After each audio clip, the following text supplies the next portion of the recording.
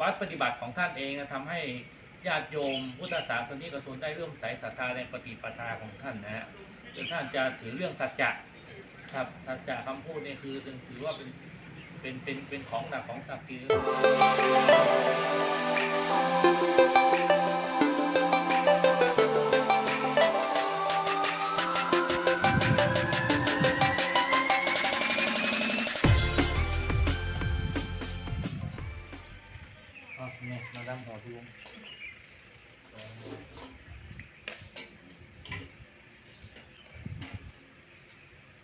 เป็นลูกเป็นหลานท่านนะโอ้เหรอฮะโอ้มรดีณภาพเป็นสิบปีแล้วพระอาจารย์นะหลวงปู่เนี่ย จริงๆเอ่อพระอาจารย์มีเกี่ยวข้องกับอะไรกับหลวงปู่ เดิมก็คือว่าทางน่าจะเป็นเป็นตาทวดผมกับหลวงปู่น่าจะเป็นญาติกันเพราะว่าเมื่อก่อนตาผมเนี่ย สมัยผมเป็นเด็กนักเรียนก็ จะมากราบคารวะหลวงปู่ที่วัดเนี่ยตาจะพามา แล้วก็ท่านท่านจะเรียกผมกับกับน้องชายว่าเป็นเป็นเอออากับหลาน เจ้าอาเจ้าหลานกันมากราบหลวงปู่ที่ที่วัดเนี่ยฮะเมื่อก่อนวัดนี่เมื่อก่อนนี่จะจะไม่กว้างขนาดนี้นะท่านจะนั่งอยู่แถวเนี้ย แล้วก็จะมีโรงครัวของฉันท่าน ท่านจะเป็นผู้ที่เป็นสมถะสมถะหลวงปู่นะฮะ แล้วก็วัดปฏิบัติของหลวงปู่นั้นก็คือเป็นที่น่าเลื่อมใสของเอ่อคณะสัตยาญาติโยมทั้งชาวจังหวัดลำปางทั้งภาคเหนือเลยก็ว่าได้นะที่เป็นเอ่อที่เคารพศรัทธาของเอ่อพุทธศาสนิกชนนะครับอ๋อแล้วหลวงปู่นี่เรื่องราวของท่านท่านท่านได้มีโอกาสเข้ามาสู่ร่วมการสาวพัฒน์ตั้งตั้งแต่อายุเท่าไหร่ตัวหลวงปู่เอง น่าจะผมผมผมขอโทษครับผมจะ ถ้าคือจำไม่ผิดก็คือตั้งบวชตั้งแต่เป็นเนนนะฮะอ๋อบวชตั้งแต่เป็นเนนจนถึงบวชเป็นพระอุปสมบทเนี่ยก็อยู่ด้านครองเพศสมณเพศจนจนถึงมรณภาพมาตั้งแต่ปีปีห้าสองอะห้าพฤษภาห้าสองตอนนั้นท่านอายุตอนนั้นท่านแปดสิบห้าครับพรรษาหกสิบห้าโอ้พรรษาหกสิบห้าเป็นเอ่อเจ้าคณะตำบลที่ปรึกษาเจ้าคณะตำบลนาแสงนะตำแหน่งท่านเป็นอดีตเจ้าวาดพระนาแสงด้วยอ๋อก็คือเป็นเจ้าวาดเมื่อก่อนผมผมได้เรียนรู้จากหลวงพ่อท่านรองอำเภอท่านท่านบอกว่าเมื่อก่อนตำบลนาแสงเนี่ยยังไม่ได้เกิดขึ้นก็เป็นตำบลนาแก้ว ท่านเป็นเจ้าคณะตำบลนาแก้วก่อนนะต่อจากวัดสองแพใต้นะครับท่านชื่อท่านก็เลยเป็นพระครูรัตนประภากรก็คือเป็นเจ้าคณะตำบลนาแก้วแล้วประภากรคือเป็นฉายาท่านคือประภากันโลนะอ๋อครับแล้วเท่าที่ทราบนี่ถือว่าเอ่อ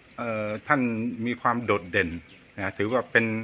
เอ่อเกจิชื่อดังใช่ของครับลำปางใช่และของครับภาคเหนือเลยใช่ใช่เป็นเป็นพระเกจิคือคือว่าท่านวัดปฏิบัติของท่านเองนะทำให้ญาติโยมพุทธศาสนิกชนได้เริ่อมใสศรัทธาในปฏิปทาของท่านนะฮะจนท่านจะถือเรื่องสัจจะครับสัจจะคำพูดนี่คือถือว่าเป็นเป็นเป็นเป็นของหนักของศักดิ์ศรีก็คือถ้าพูดเรื่องวาจาแล้วก็ต้องทำให้ได้ปฏิบัติให้ได้ท่านท่านถือเรื่องสัจจะวาจา อืมก็เลยทำให้ผู้คนเอ่อได้นับถือท่านนะแล้วก็ทีนี้มันมีเหตุการณ์ที่ที่ทำให้ให้ชื่อชื่อเสียงนั้นนะตอนนั้นก็คือท่านเอ่อลูกศิษย์ลูกหาท่านที่เป็นอดีตผู้ใหญ่บ้านอดีตกำนันเนี่ยเอ่อแขวนพระพระเหรียญของท่านอะ แล้วก็ถูกรอบยิงแล้วไม่เป็นอะไรอ๋ออ่าโดนโดนในหมู่บ้านนั่นนะแล้วก็ถูกเอ่อเขาเรียกว่าเอ่อมือปืนอะไรไล่ยิงแล้วก็ไม่เป็นอะไร ประยูนเพิ่มพูนประยูนเพิ่มพูนใช่ไหมอะโยมเป็นเมื่อกี้เห็นเอ่อเลขาท่านเจ้าคณะอำเภอบอกว่า โยมเป็นอดีตผู้ใหญ่บ้านเหรอนาแสงนี่นะโดโดนกี่เม็ดอะทั้งหมดอะทั้งหมดเราสามเม็ดอะสามเม็ดขาอยู่ในขาเม็ดหนึ่งอยู่ตรงนี้อีกเม็ดหนึ่งอ๋อนี่เลขกระสุนน่ะอยู่ในนี่นี่เหรออยู่ในเม็ดหนึ่งทททั้งทั้ง ตอบไปกินตอบไปได้กี่ลูกฮะทราบไปกี่ลูกตัวเองตอบตัวสิบสองอะสิบสองหมดแม็กเลย เอ้ยสิบสิบสิบสี่มันใส่ไปสิบหกเม็ดเอ้ยใส่ไปสิบสี่แต่มาเหลือสองเออสิบสี่เสียงแม็กเลยเขามันเขาเสียงเหลือสองเม็ดเขายิงมาเยอะไหมหลายนัดไหมก็ที่มันเก็บได้สรุปรู้แล้วรู้มันมันมีสามสิบเก้ากระปอกอะหลวงพ่อปีนี้หลวงพ่ออายุเท่าไหร่เนี่ย เจ็ดสิบห้าเอ๊ะอย่างนี้หลวงพ่อเป็นอะไรกับครูบาคำปัน มันเป็นญาติห่างๆกันมันเกี่ยวโยงกันหมดบ้านอาแสงนี่นะเหรออืมมีโอกาสได้ได้เจอท่านไหมใช่ไหมไปเจอเขาเอาขี้เมี่ยงให้ผมผมไม่เอาอะเอาเคี้ยวเคี้ยวแล้วเอาให้ผมผมว่าเอาไม่เอา ที่ไหนได้แม่ผมด่าว่ามึงโง่จังเลยเขาแย่งกัน เหรอผมนึกว่าท่านล้อผม เหรออื เขามเขาว่ามึงตายไปแล้วนะอืมสามสิบปีผมไม่เข้าบ้านอะเหรอโอ้แสดงว่าท่านจำหลวงพ่อได้แล้วก็รักหลวงพ่อด้วยนะถึงให้อะเออเอาเหรอบอกไม่เอาเฮ้ยไม่เอาเหรอนึกขึ้นไปกุฏิเนี่ยไปไหว้ท่านนะนะเขาว่ามึงตายไปแล้วนะผมก็กราบนะเถอะลุง ผมอยู่บ้านไม่ค่อยได้หรอกไม่มีงานเนาะผมต้องไปทำงาน ไม่มีใครว่าอะไรให้มึงหรอกแต่มึงไปนานจังสามสิบปีไม่เข้าบ้านเอออ๋อหลวงพ่อไปอยู่ซาอุมาใช่ไหมสามสิบปีนะผมอยู่ซาอุอะปีละปีสี่เก้านะวะอืมแล้วหลวงพ่อรู้เรื่องราวเกี่ยวกับเอ่อศีลายจริยวัตรของท่านหรือว่าอภินิหารเหรียญของท่านหรืออะไรท่านเออนะอย่างนี้ผมไม่รู้เลย เหรอครับอ๋อเคยได้ยินอะไรใครเขาเล่าอะไรเคยไหมได้ยินเขาเล่าที่ว่าผู้ใหญ่ยืนโดนยิงนี่แหละ อ๋อ ตอนนั้นท่านยังไม่ดังไม่โด่งดังนะที่ผมอยู่บ้านมาก่อนนะอืม ไม่ค่อยโด่งดังเท่าไหร่ท่านมาดังเมื่อปีสี่แปดอืม ปีสี่แปด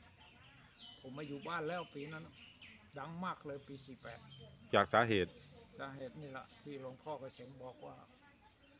บ้านมึงก็มีมึงมานี่ทำไมอย่างเงี้ยอ๋อ หลวงพ่อเกษมคุยกับญาติโยมใช่ไหมเออว่าอ๋อของดีที่บ้านก็มีใช่ไหมของดีที่บ้านก็มีมึงมาทำไมกันที่นี่ อ๋อ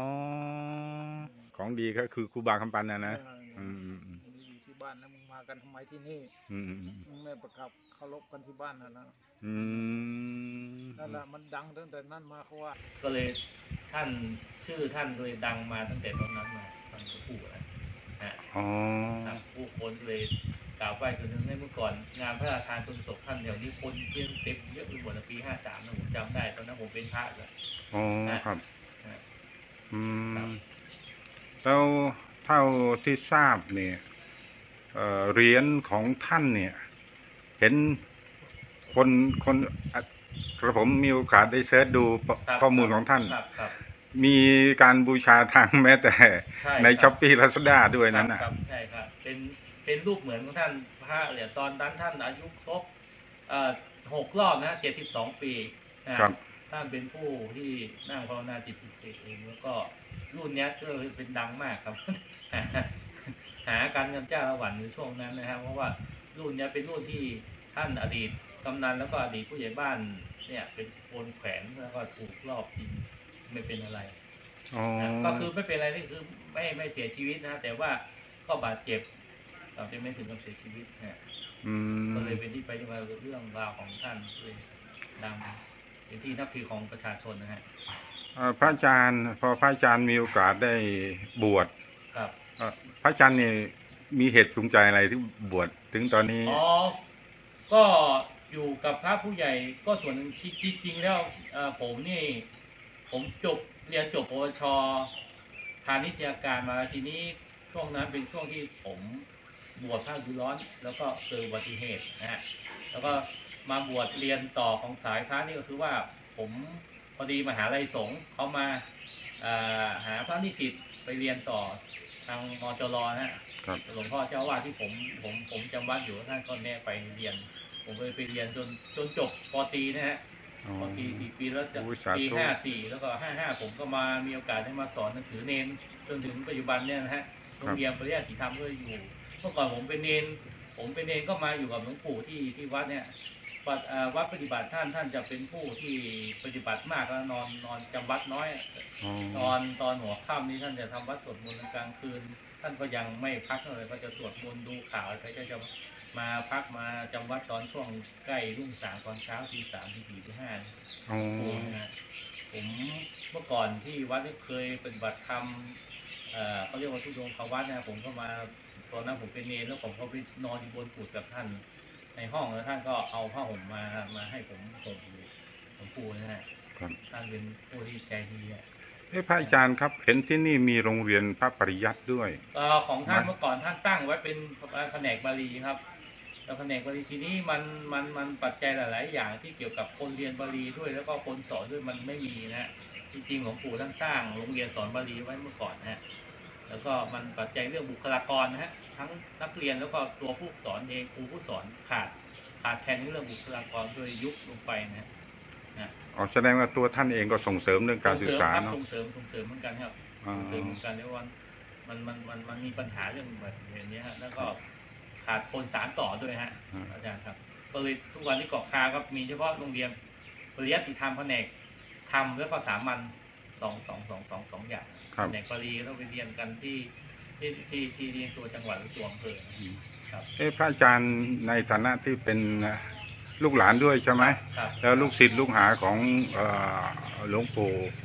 ด้วยครับพระอาจารย์ได้ข้อคิดอะไรของท่านที่นำมาปฏิบัติจนถึงปัจจุบัน ก็คือว่าเท่าที่ผมอยู่ได้ในวันนี้คือน่าจะเป็นบุญกุศลเดิมบุญพระเหลืองเดิมนะที่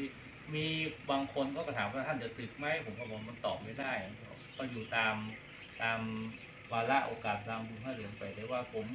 อยู่กับผมมีโอกาสและมีมาอยู่กับหลวงปู่ช่วงหนึ่งก็คือมามามานมัสการมากราบท่านแล้วก็มาคือเห็นวัดปฏิบัติของท่านเรียบง่ายสมถะแม้กระทั่งหลวงพ่อเจ้าวาดผม ตอนนี้ท่านอายุ 85จนก็ก็เป็นพระผู้ใหญ่ที่อายุและอ่าอ่าคนละรอบกับหลวงปู่นะหลวงปู่เพราะว่า แกแกก็เป็นพระผู้ใหญ่ผมก็ได้มีโอกาสอยู่ศึกษากับพระผู้ใหญ่ก็เลยรู้เรื่องจริยวัดวัดปฏิบัติของท่านปฏิบัติธรรมของท่านก็เลยทำให้เราเลื่อมใสในในเรื่องข้อวัดปฏิบัติท่านก็จะสอนเรื่องข้อวัดปฏิบัติอยู่นะฮะครับ ท้ายที่สุดนี้พระอาจารย์เอ่อก็เนื่องจากว่ามันจะมีการทำบุญฉลองเสเสนาสนะที่นี่ครับแล้วก็ทำบุญอุทิศครับครับอ่าให้อ่า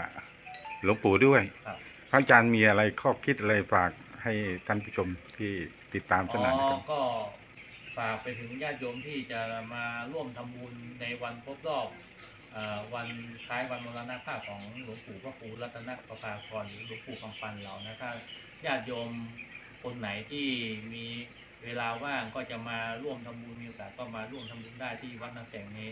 งานนี้จะมีงานทำบุญครบรอบด้วยแล้วก็ งานฉลองสมโภชเนาะเสนาสนะของวัดนาแสงนี้นะครับโอกาสนี้อาตมาก็ขอเอ่อเชื้อเชิญเจริญพรญาติโยมทุกท่านที่ได้รับชมเอ่อทางคลิปนี้ก็ขอมาเอ่อมาร่วมทำบุญแล้วก็เอ่อเอ่อในโอกาสนี้ด้วยขอเจริญพรต้องขอบคุณพระอาจารย์เป็นอย่างมากนะครับครับผมนะขอบคุณครับครับ